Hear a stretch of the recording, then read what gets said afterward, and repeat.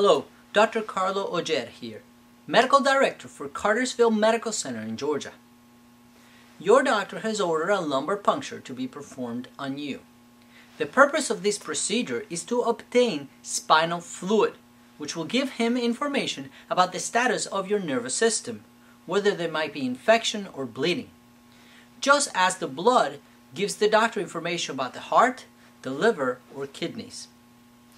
The procedure involves you laying on your side or sitting up with your back arched. Your back will be cleansed with antiseptic solution, and you will then receive some local anesthesia such as lidocaine, such as that which the dentist gives you when you go to have dental procedures. This will remove most of the discomfort of the insertion of the spinal needle. By the time the spinal needle goes in, mostly all you will feel is pressure. The needle will be inserted between two bones on your back into a fluid-filled space.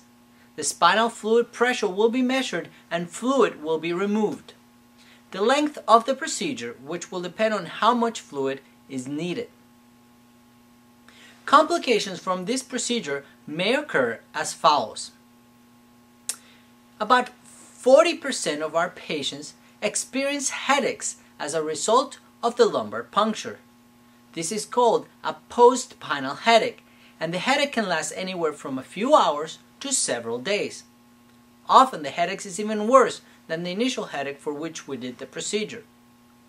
The headache can be reduced in severity by remaining flat in bed and resting for 24 hours after the procedure is done, and by drinking lots of fluid, especially caffeinated fluids. However, even with these precautions, you may still get a headache. Number two, in unusual instances, the spinal needle may irritate one of the nerve roots in the lower spine. This will cause a sharp pain to go down your leg. If this happens, it's not a big problem. It's a transient nuisance. All you have to do is redirect the needle and the pain goes away. In extremely rare instances, this irritation may result in lasting numbness or weakness in the foot. These complications are remote possibilities of the procedure. There are few diseases in which special problems arise with lumbar punctures.